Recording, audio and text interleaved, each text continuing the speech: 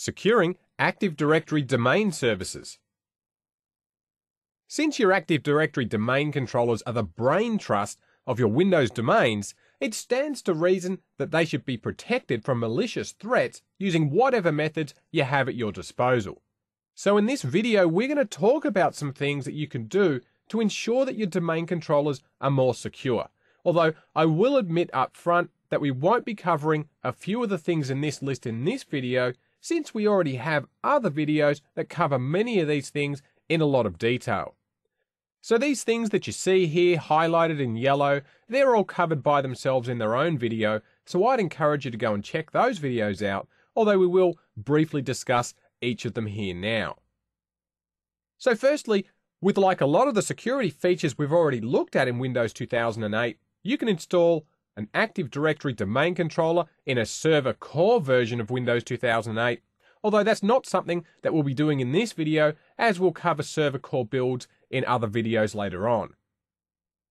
Now, new to Windows 2008 is the ability to create read-only domain controllers, which, as the name suggests, a read-only domain controller is read-only, meaning that it only stores read-only copies of the forest objects inside its copy of Active Directory.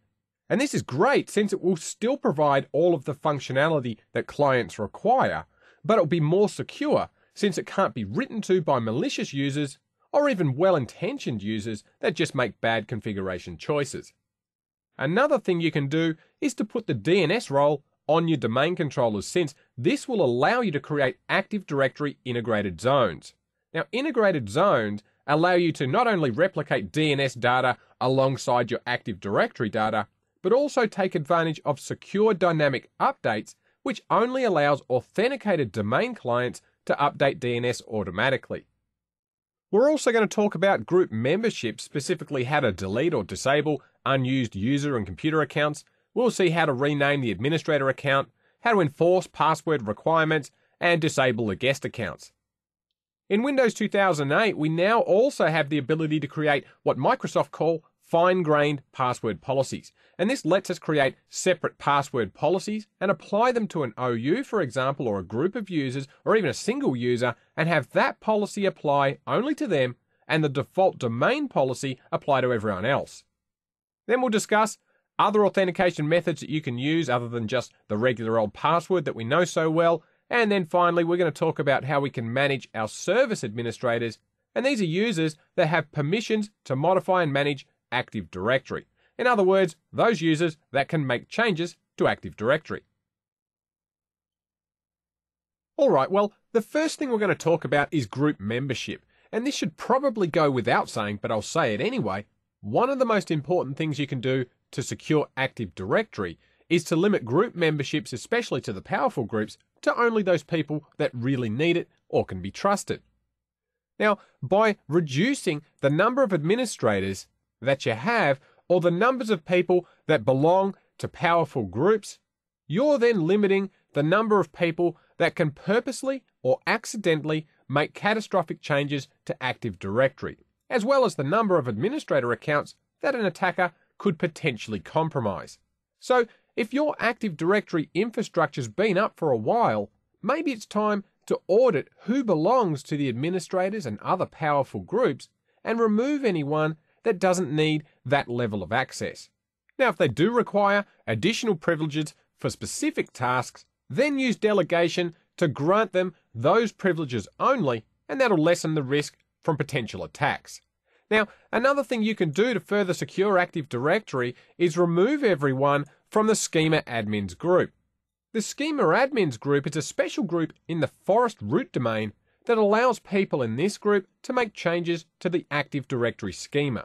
Since it's pretty rare that you need to make changes to the Active Directory schema, normally you'll only need to do this when you're installing specific software, so it makes sense to remove everyone from this group altogether and then only add back in accounts when you need to perform some sort of task that requires the schema admin rights.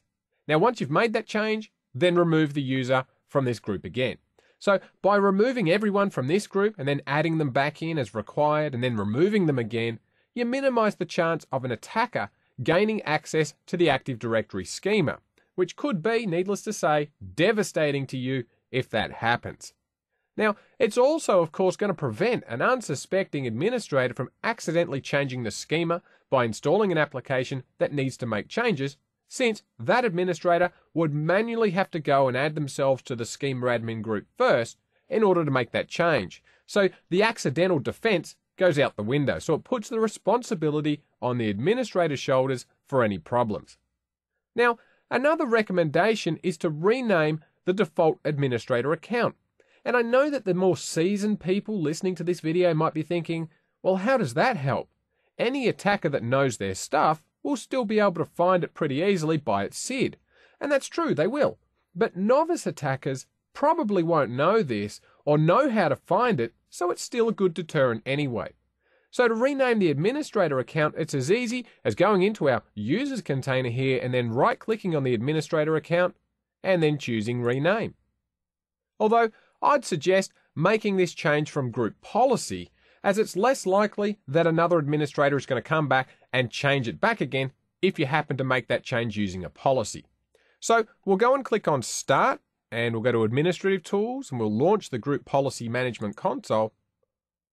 Then on the left here, we'll expand our forest, we'll expand domains, and then our domain here, winstructorlab.com, and let's right click on our default domain policy and we'll choose Edit, and that'll fire up the Group Policy Management Editor. So under the Computer Configuration heading, we'll expand Policies, then we'll expand Windows Settings, Security Settings, and I'll just move this slider bar across here. Then we'll expand Local Policies, and we'll select Security Options. Now on the right hand side here, we have four policies that are of interest. The top two allow us to disable both the administrator and guest accounts and the other two here allow us to rename the guest and administrator accounts. So if we wanted to rename the administrator account using group policy, we'll right click on rename administrator account and choose properties. And then we'll define this policy setting. And then we just need to enter in the name that we'd like the administrator account to be called. Now, if we wanted to disable an account such as the guest account, we'll right click on guest account status and choose properties.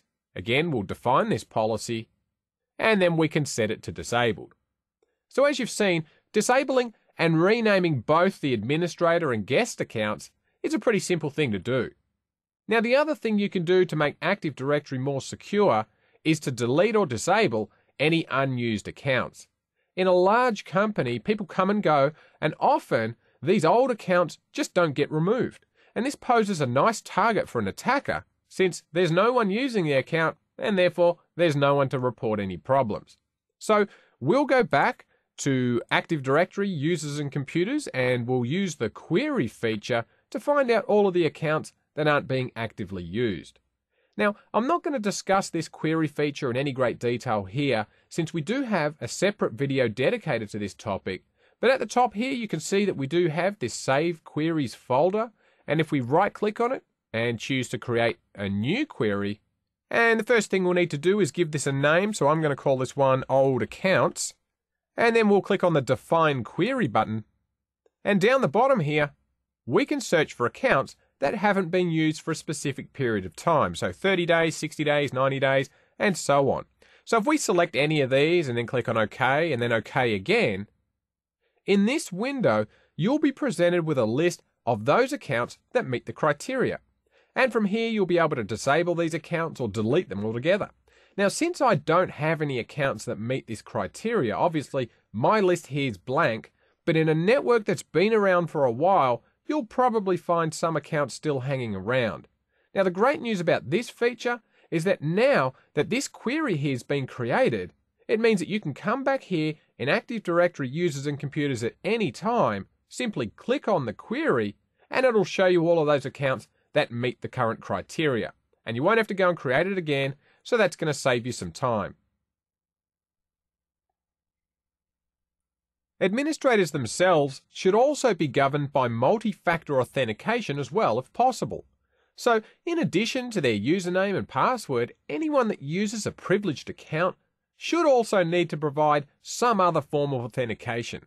Authentication is normally categorized into three separate areas. Something that the user knows, such as their username and password, or a PIN number, something like you'd use at your ATM, or a passphrase. It could be something that the user has, which is a physical object such as a smart card or a cell phone or a security token, and also something that's a unique attribute of the person, such as their fingerprints or their voice or a retinal scan of their eyes. By using a combination of these other authentication methods for your privileged accounts, it makes it much harder to compromise your security since no longer are we relying on just a simple username and password. Now, obviously, some of these authentication methods will probably be out of reach for the average small company, but things like fingerprint readers, they're pretty cheap and they work quite well nowadays, and they're a great addition to your overall security plan. So, whilst regular users can get by with their username and password, for your administrators, and this includes enterprise admins, domain admins, the schema admins, and pretty much any group with the word admins in it, they should be governed by a combination of these different authentication methods. Now, the final thing I want to talk about in this video are your service administrators. These are the people that manage Active Directory and are authorized to make changes to it. Now, one of the first things you should do to ensure that managing these administrators is made as easy as possible is to separate them into their own organizational unit. So in our Active Directory Users and Computers console, I'm going to right click on my domain here, winstructorlab.com, and we'll choose to create a new organizational unit. And I'm going to call this one Service Admins, and we'll click on OK. Now we'll go up to the View menu, and we'll choose to turn on Advanced Features. And then we'll right click on our Service Admins OU, and we'll choose Properties, and then the Security tab. Now you won't see this security tab if you don't enable the advanced features like I just did. So if you don't see six tabs at the top here, then make sure that you go and turn the advanced features on in the view menu. Now, notice here that by default we've got a bunch of different groups already inheriting these permissions to this OU, so we're going to have to remove most of them first. So since a lot of these permissions are being inherited, we'll need to fix that first. So we'll go and click on the Advanced button, and we'll turn inheritance off by unchecking this box here, and then we're going to remove the existing permissions. And then we'll need to remove these accounts, so we'll select them all and we'll click remove. And now we'll go and click add, and we're going to add back in only a few of these accounts. We're going to add back in the enterprise admins group. So we'll locate them there, we'll click OK, and OK again. And up here you can see that this is applying to this object and all descendant objects and that's what we want. We want to allow the Enterprise Admins Group full control over everything in this OU, so we'll click on OK. And now we'll click Add again.